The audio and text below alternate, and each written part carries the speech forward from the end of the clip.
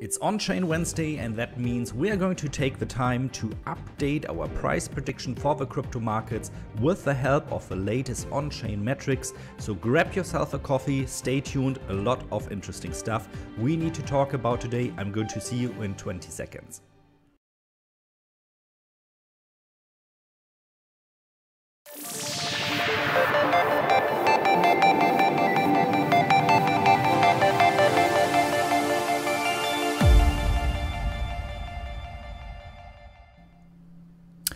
Hey everybody, welcome back. Good to see you again and welcome to today's episode of That Crypto Show. It's Wednesday and you know what that means. Wednesday, we always want to have a look under the hood of Bitcoin into the on-chain metrics to determine in which direction the crypto markets will develop in the next weeks and months. And today is a bit of a special episode. So uh, normally uh, the on-chain metrics, we are more focused there on the long-term picture. So in the past, we've talked a lot about the long-term holders there. Today, we want to do something different because I think it's a special market situation that we are in currently. So I focused more on the uh, short-term holders actions. I think there is some stuff going on that will become very, very important for price development in the next days. Uh, so we're going to look at two metrics to try to determine where the prices of cryptos, and when I say crypto, you know, I'm analyzing Bitcoin here, but you can almost one-to-one -one translate everything here to the crypto of your choice. You know, when Bitcoin is going up, uh, you it's very likely that the altcoin maybe you're owning uh, at least from the top 10 or maybe top 15 is also going up vice versa if bitcoin is going down probably your altcoin is going down too so let's you know focus on the flagship out there and that of course is still bitcoin before we start, please leave us a like, subscribe to the channel so we can continue to offer you great free content like this. If you have been a watcher of that crypto show already in the past, you know that on Wednesdays I usually focus on the newest Glassnode report. So Glassnode is a company that does so-called on-chain uh, metrics analysis. On-chain means they look at the blockchain of Bitcoin or Ethereum, for example, and determine by certain metrics how the behavior of uh, certain cohorts of Bitcoin investors is. When I say cohorts, usually they differentiate between short-term holders and long-term holders. Long-term holders usually is uh, are investors that hold on to their Bitcoins for more than 150 days. Today we are going to focus more on the short-term holders and let's really jump right into this at the moment. The first metric here I want to show you is the UTXO realized price distribution. So this metric shows at which prices the current set of Bitcoin UTXO were created. So in short, we can see uh, for example, where were clusters where a lot of Bitcoin were transacted, aka bought or sold uh, as a matter. And I always use this to determine zones of support and resistance on the chart and I've updated my chart here uh, today quite a bit because I think it shows very clear that we have new clusters of support and resistance now. The two are really three uh, zones here that are important in my opinion are first of all the zone here between 45 and 50k which is a super strong support we also have a 200 days moving average there at the moment so if we fall down there you know it's pretty hard to for the price to to just you know go pierce through there without any terms of resistance. There are other factors also that come into play there. Second zone is the zone between 56,000 and 60,000. So this is the area we are currently in. And this is an area of support uh, because as you can see, whenever we uh, went down, whenever the price went into this box of support between 56 and 60,000, we saw some buying action again. This ties also very good into the next metric I'm going to show you here. So this is an area of support. As long as we don't fall out of this area, we can expect to stay about 50,000. Most important new zone that has formed over the last weeks is this large zone between 60 and 68,000 US dollars. And we saw 1.9 million Bitcoins uh, spent there or transacted.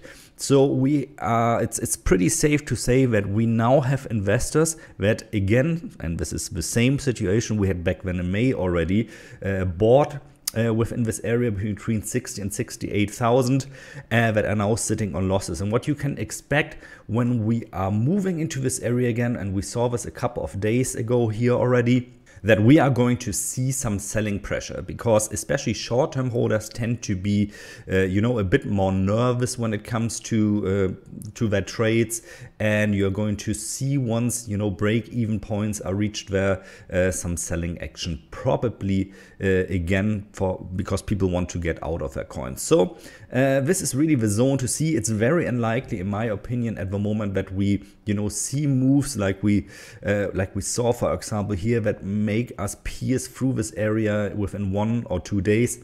But of course, when we're talking about Bitcoin, we're talking about the crypto market where nothing is impossible.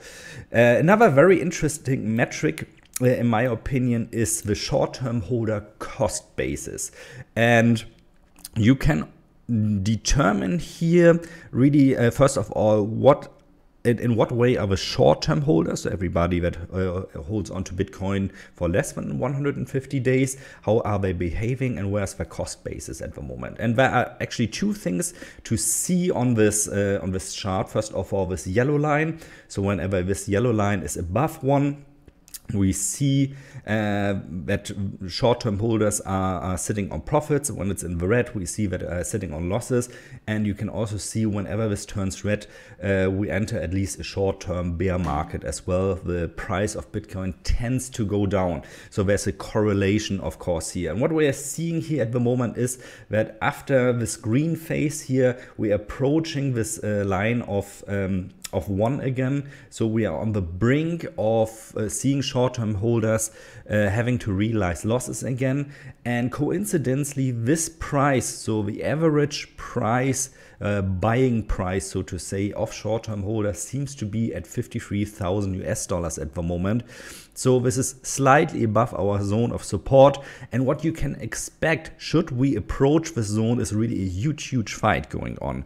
Uh, first of all, expect there to be a lot of stop losses sitting there, you know, because on average, this is uh, where short-term holders bought their Bitcoin and they don't want to uh, have a profitable a profitable position turn into a loss position again. So we're probably going to see some stop losses triggered, which could short term then lead to a situation where we slump down to 52 or even 50,000.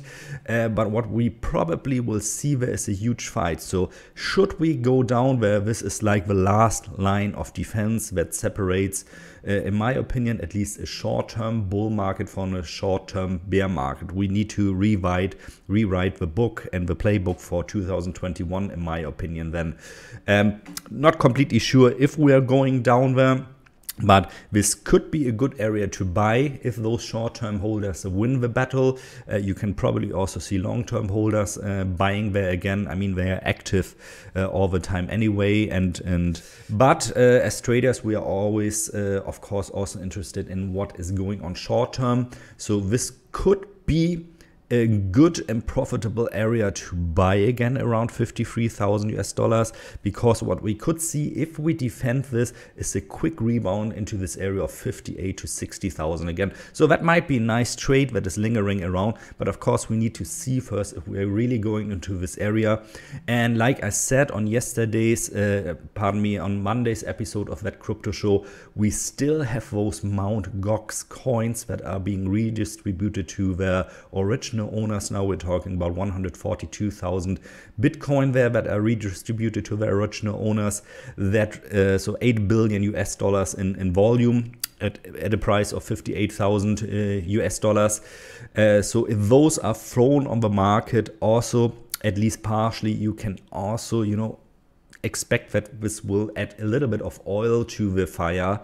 Uh, but it's really a test. So should the market be able to absorb this really, those coins coming into the market, this would be again a very, very bullish sign. So interesting times ahead the November is totally playing out differently than from what we thought uh, beginning of November. But this is the nice thing, you know, about being a more short-term trader. Uh, you are able to adapt to situations like this. So the line and the sand as a summary at the moment is 53,000 US dollars. Should we fall below that, especially on an end of day basis, things are really going to change uh, and we could expect more pressure to the downside there, maybe even until the, the 200 day moving average, which is at 46. Should that not hold, maybe even until 40,000. But this is a long time going still. Uh, sentiment can flip to the positive within uh, just a matter of, of hours and days in Bitcoin again. So be prepared for upside or downside action at the moment. In any case, guys, always remember to use a stop loss. I'm going to see you on the next episode of that crypto show. Until then, stay safe and bye bye.